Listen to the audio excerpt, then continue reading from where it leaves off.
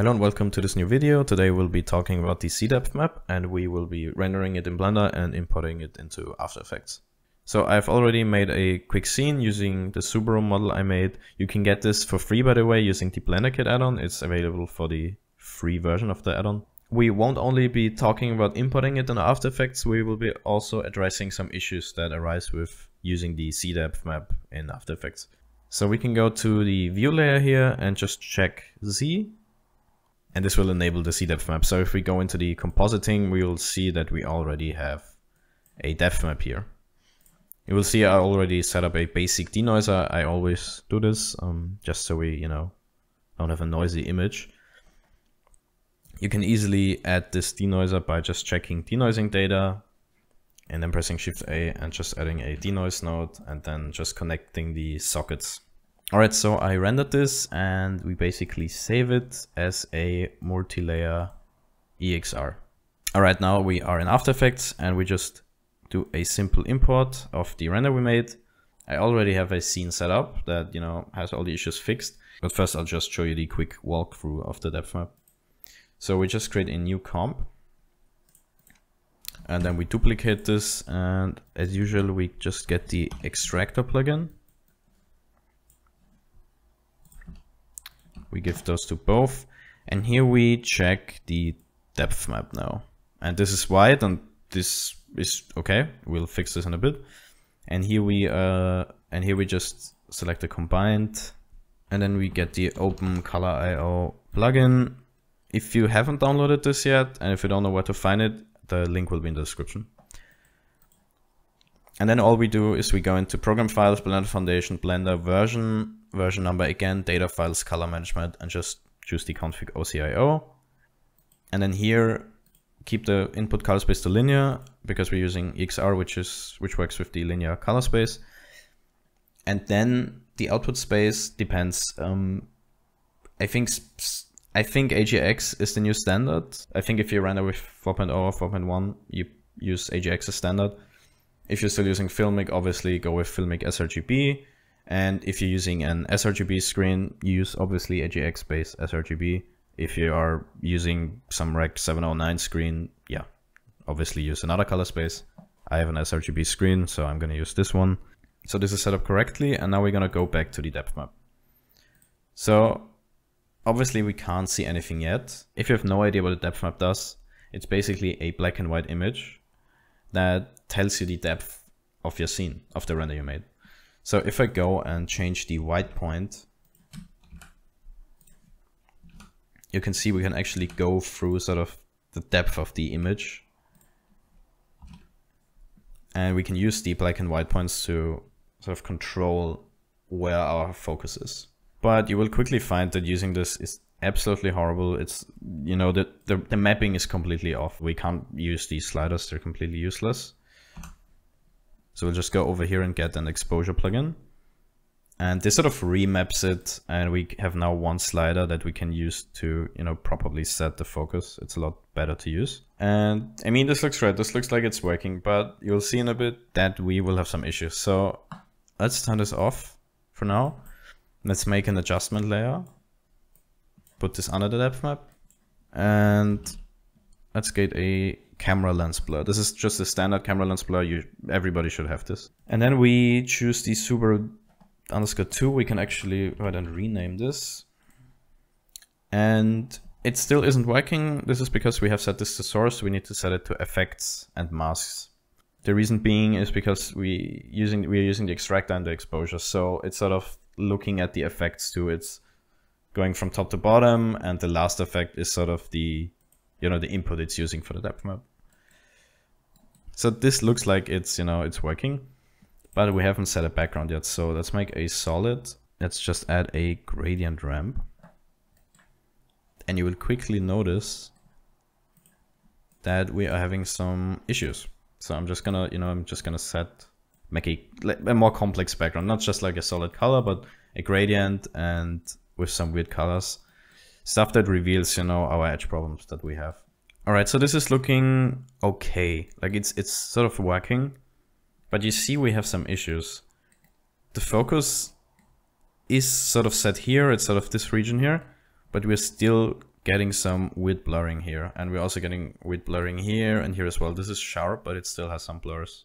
So it's not a massive deal if you know, like if you are fine with this and you're like, yeah, I don't care. I just want, you know, a simple lens blur and I don't care about these edges. That's fine. But for me, it's not okay and I want to fix it.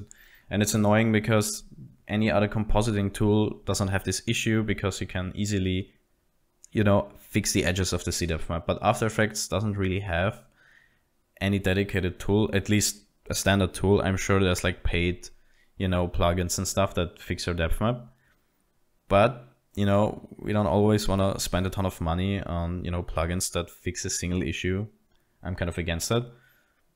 So sort of the logical way of thinking would be to have the ZDepth map and have an alpha applied to it. That way we get the edges, you know, of our object. And that way we can soften the edges because as soon as we have like an alpha matte, we can use tons of plugins that, you know, grab the edges and soften them, they extend them, they crop them. We can do a lot of things. All right, so let's hop into the other scene. Let's go in here and I've already set up the blur and everything. So we can see here, we have a very extreme depth of field, but the edges don't have these issues. We do not have any weird blurs where there shouldn't. So these edges are super clean and fade nicely into the depth of field. Now, I haven't tested this solution on like all types of scenes. I think this scene is a good benchmark. We have lots of depth of field and we have some very sharp edges that transition into the blur and we have like this sticking out here as well. So I think this is a decent solution and I'll now show you what I sort of did. So let's open up the depth map and let's disable all the effects. So what I did first is I started with the extractor obviously, so I got my Z depth map. And this is how it looked in the beginning. So the first thing we need to be able to edit the edges is an alpha texture. So I use the view layer noisy image A, which is the alpha basically from our noisy image. You can also do a separate alpha pass. I'm just using the one from the noisy image because it works fine. So if we turn on the background here, we can see we are having like some real issues here with the edges. This is probably due to the noisy image, um, but I'm just using the alpha here because all the other alphas don't work here. I'm not sure why the combined alpha doesn't work. It probably has got something to do with the denoising process and how it's stored. You could set up a separate alpha pass and it should work, but yeah, I'm just gonna use the view layer noisy image alpha. So the first thing I added was the exposure plugin because we always need this. Otherwise we can't probably change the depth of the image. Then I added the refine hard matte.